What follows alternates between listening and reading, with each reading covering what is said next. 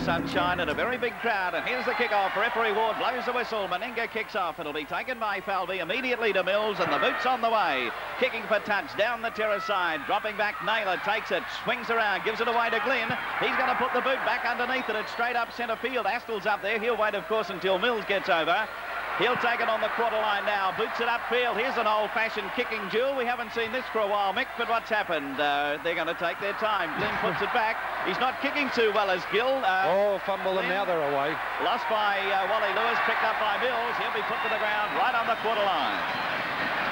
Getting up to play it now. Lewis dummy half. Feverish start to the match. Lewis with a kick back upfield. And look at Strudwick lurking up there. Back is Glynn. They know that Glynn doesn't like to run across to get the ball.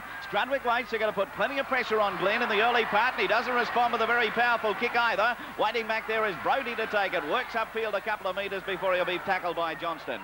And a long time since we've